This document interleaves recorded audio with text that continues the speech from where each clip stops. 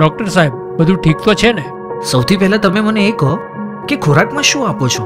ઘાસ. અરે સાહેબ આ તો ઘાસ જ ખાશે ને.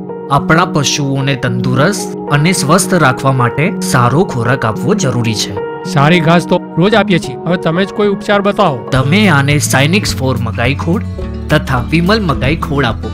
આનાથી શું ફાયદો થશે? નેચરલ અને પ્રીમિયમ ક્વોલિટી મકાઈ ખોળ વિટામિન ઈ થી ભરપૂર. દસથી બાર ટકા તેલનું પ્રમાણ. અઢારથી એકવીસ ટકા પ્રોટીનનું પ્રમાણ. સરળ પાચન અને રોગ પ્રતિકારક શક્તિમાં વધારો અને એસ એન એફમાં પણ વધારો. ત્રીસ મિનિટમાં આહાર તૈયાર અને કોઈ આડઅસર નહીં. સાયનિક્સ ફોર મકાઈ ખોળ અને વિમલ મકાઈ ખોળ.